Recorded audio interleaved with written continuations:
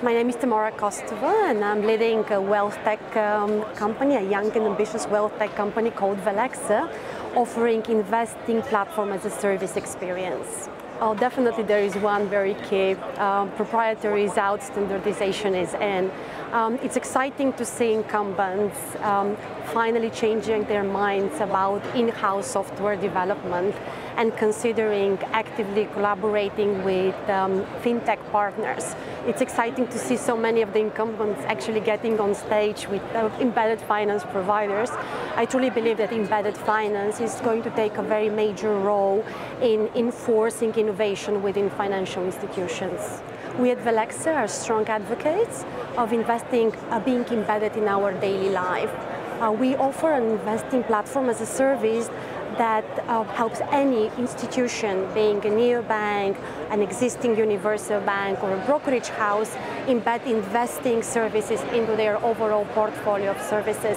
What is also key to outline that financial institutions, which are our target clients, um, are looking not only for off-the-shelf solution, but a solution that could be customized to tailor their specific needs within the existing market situation at the moment with recession coming on the horizon, saving is no longer enough for each one of us as individuals hitting our financial targets.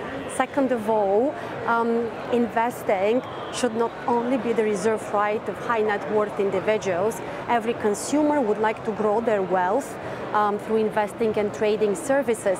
And what is very important is that every consumer is looking for a very personalized but also familiar way to procure and utilize these investing services. Embedded investing is all about embedded trust, um, especially for nascent investors the actual act of investing, trading, um, it could be a quite intimidating experience, um, especially due to two reasons. One of them, uh, the lack of financial literacy um, and the knowledge of how um, you can actually invest and trade.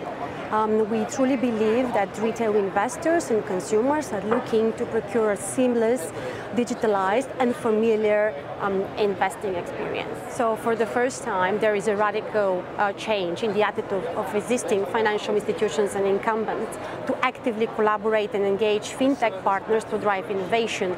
What is also interesting to outline is that fintech partners are also actively looking to collaborate between themselves in building a wider ecosystem that could drive more innovation and more digitalized user experience. With every single value add partner, the digital user experience for the end consumer would improve.